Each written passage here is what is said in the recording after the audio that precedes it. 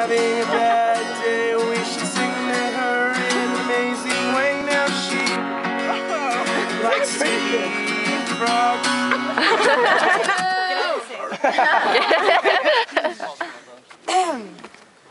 All right, I'm not gonna sing for you guys. Uh, my mine is kind of more of like a weird talent. Um, but but in order for me to preface this, I have to let you know that I can't be last because it's gonna end super anticlimactically. So hopefully someone else has a talent out there. Alright. So we really gotta stretch this out for a second. Go bird. Oh gosh. She's gonna. Alright, So cool. Okay. hold this. It's getting serious now. Alright,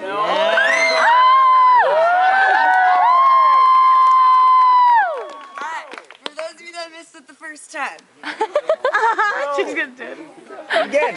Uh, up, up,